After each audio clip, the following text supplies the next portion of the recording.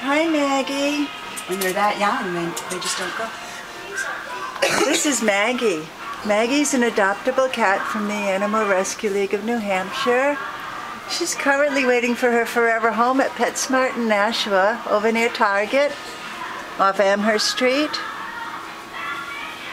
And you were a mama?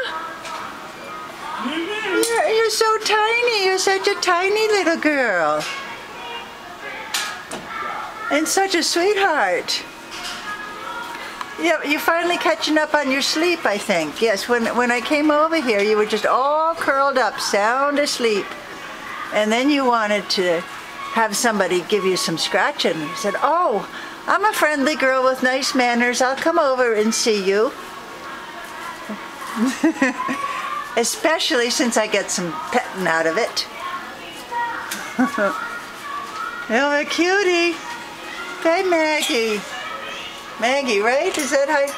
Yeah. There's a sweetheart. Oh, pretty girl, Maggie. Bye-bye. Bye, girl. Let me see those pretty eyes. Let's see that pretty face. Good girl. Bye-bye, Maggie.